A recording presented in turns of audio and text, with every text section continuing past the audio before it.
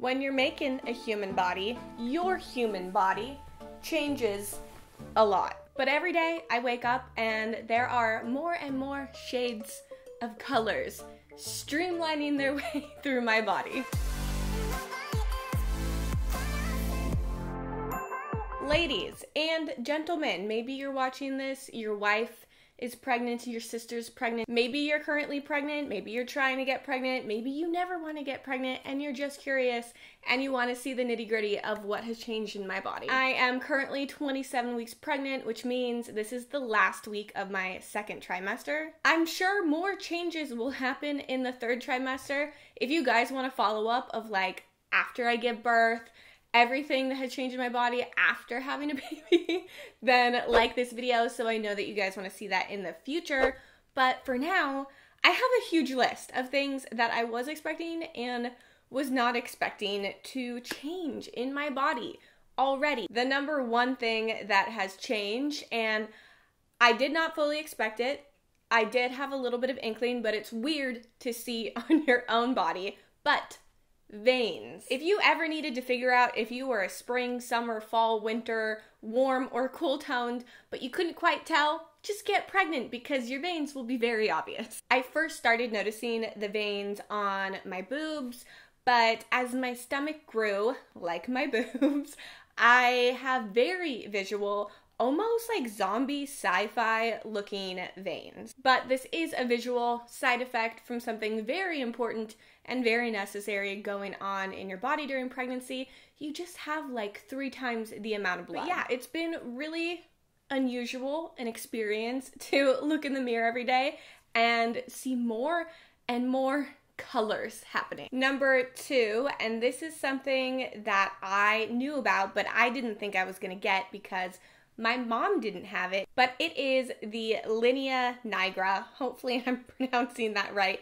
but it is just the line that goes from your belly button. Maybe it can extend up and then it extends all the way down. I can show you, but for obvious reasons, I can't show you the depths that it reaches. I'll probably get flagged, but it does go further than I thought it was going to go. This is a hormone baseline. Some people get it, some people don't. It doesn't mean your pregnancy is more healthy than one than the other. Number three, and this is going to be something that I also cannot show you for obvious reasons, but your nipples change. Surprise! I feel like most people know your body is preparing to uh, produce milk. And if you don't know, your baby or all babies have trouble seeing when they're first born. They see mostly in contrast, things are especially blurry in the early days, and so your body prepares for that and darkens them. They also get bigger, they get bigger and darker.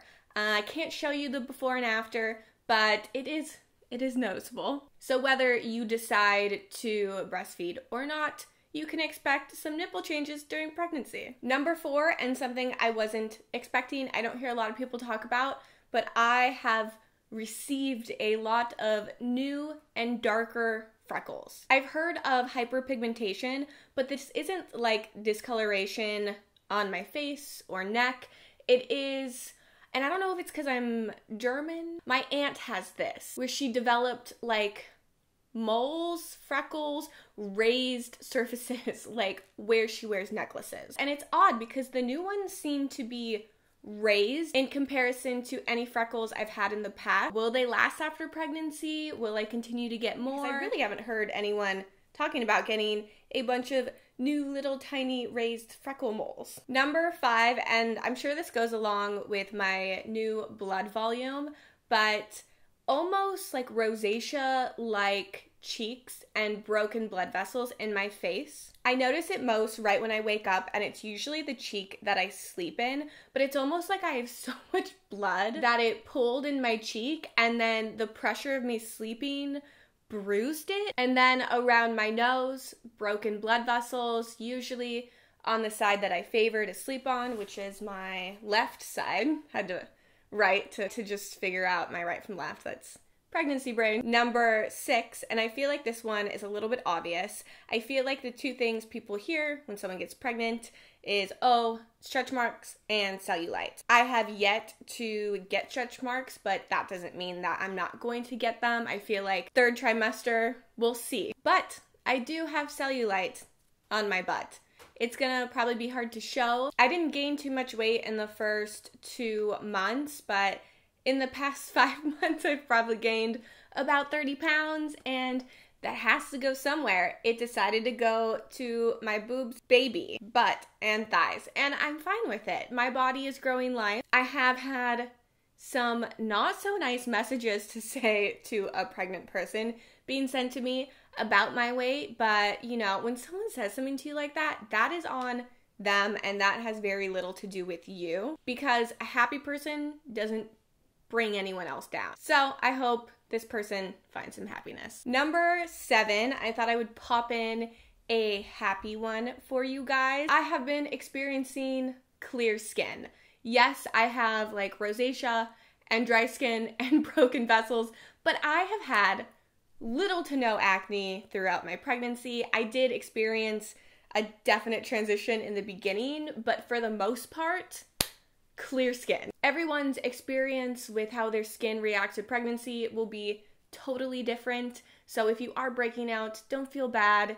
Your body's doing amazing things right now. Keep it up. Number eight, I have been able to finally stop washing my hair all the time because it is so freaking dry. That I view as a positive. It's nice to give my hair a break and be lazy and just let it be dry. But I have been suffering with the dry skin. And it is not a hydration issue. I drink so much water, pretty much only water, and uh, I pee every five minutes. Everything is dry all the time. I thought I was just gonna have to up my lotion and oil game on my stomach, but I find myself now I'm just drenching my entire body. I could dip myself in butter and I would still be dry.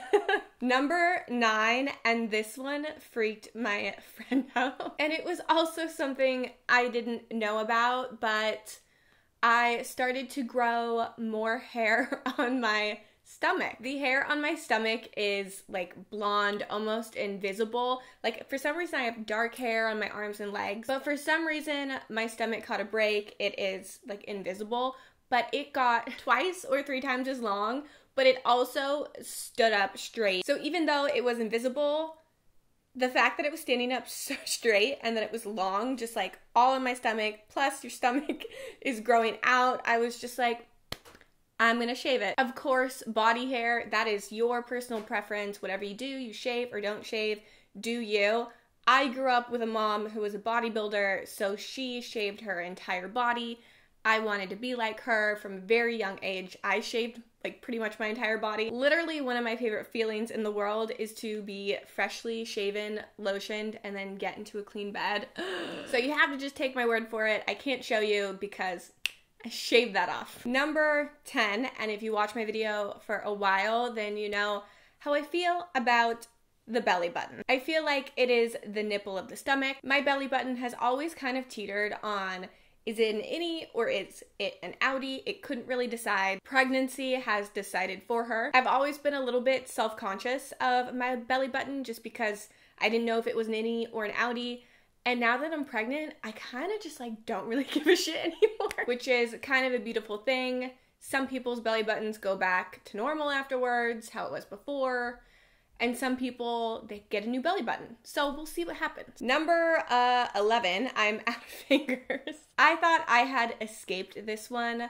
My mom suffered with pregnancy gingivitis, so I've been super on top of my dental hygiene with brushing, with flossing, with mouthwash. I've also been going to my dentist every four months and getting a clean.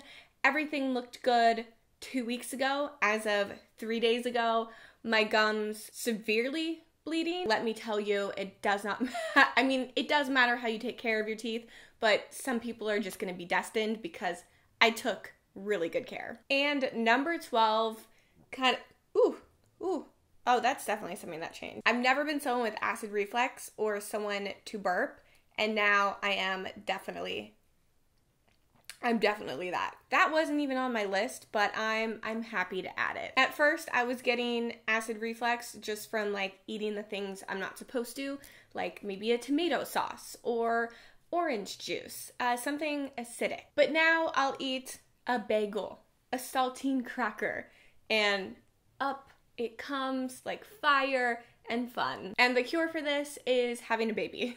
So hopefully I'll be cured in three months. Wait, two months. Oh my god, I'm over. Ah, where's the time going? Wait, how am I seven months pregnant when I have, when I'm 28 weeks? But then I have three more months. Do I not? I still have April, May, and June. Anyways, if you made it this far in today's video, we have this thing in my family where all the women give birth um, a month to two months early. Uh, we're not planning on that. We're planning on going full term. Uh, I'm not ready to have a baby in quarantine. But as of now, my due date is July 1st. My mom thinks I'm gonna give birth on June 1st. Let me know in the comments down below on what your guess is for the arrival of baby. Let me know if any of these shocked you or if you knew all of these. And I hope to see you guys next week. Bye!